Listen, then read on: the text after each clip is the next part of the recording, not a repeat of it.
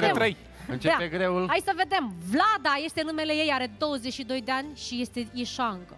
Să vezi, are grai de la dâl și ca în târgu ieșilor. Tocmai de asta te las pe tine să te convingi, uitându-te la Vlada.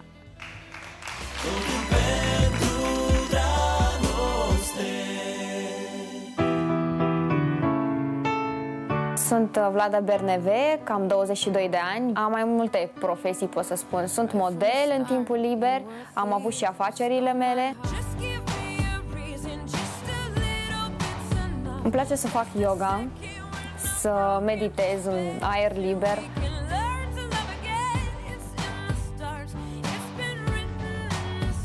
Și eu cred că sper să mă mențin așa și cred că peste câțiva ani, nu știu, să evoluez, pentru că practic yoga ev- evoluez și spiritual și fizic și este foarte important.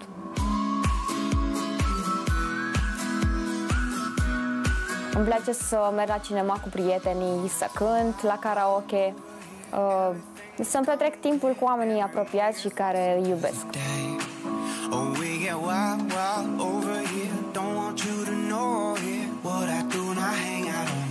Un bărbat marcucerii cu caracterul lui frumos, cum s-ar comporta el cu o femeie uh, și în general cu toate femeile și cu toți uh, oamenii. Să luăm de exemplu când merge la restaurant și vorbește cu un chelner, foarte mult vorbește atitudinea lui față de orice alt om.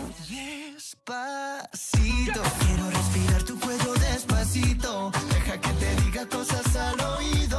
Nu-mi place la un bărbat când uh, se comportă urât cu o femeie, când este agresiv, când uh, nu știe să se poarte și nu este educat. Pentru că cred că cel mai important pentru un bărbat să fie educat.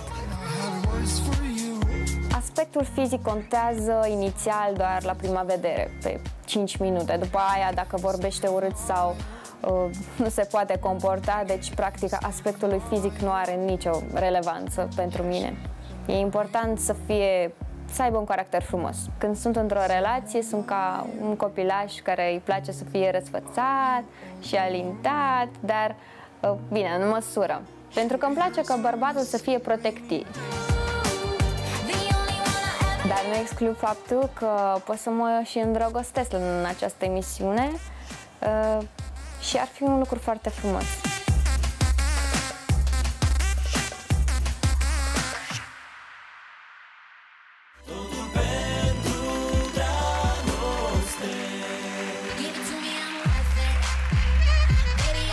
Spate.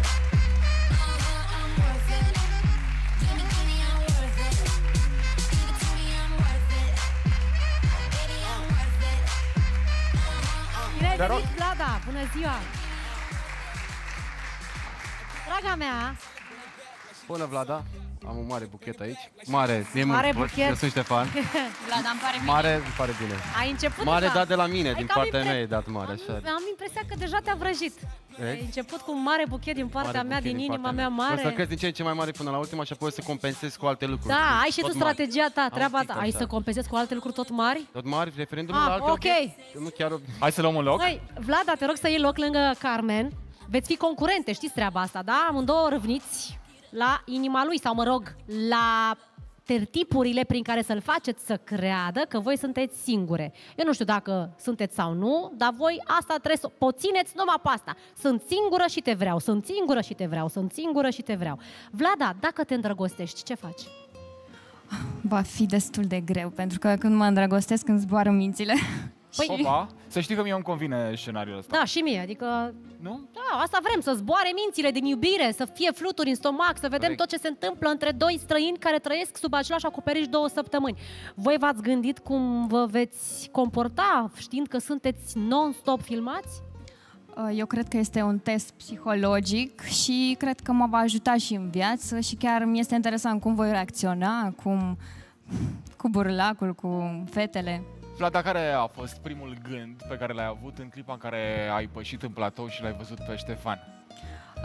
Unde Cred că ți-a are un zburat buchet de flori la spate. Uh, Nu știu, mi s-a părut așa că are niște ochi frumoși și pare un om bun. Să știi că din pricina ochilor lui uh, Facebook-ul nostru a luat o rasna, adică e... Hă? Bine zic? Da, auzi, să nu ia, adică razna poate să o ia Facebook, dar dacă o iau razna patru fete, nu știu, nu-l văd pe el bine, de-aia am și luat pază de corp. Să știi că paza de corp cred că e mai mult L-am dat. să te apere de ele, că sunt niște fiare când se îndrăgostesc Corect, cele corect, e patru. foarte periculos. Eu însă vă las pe voi și vă spun doar atât.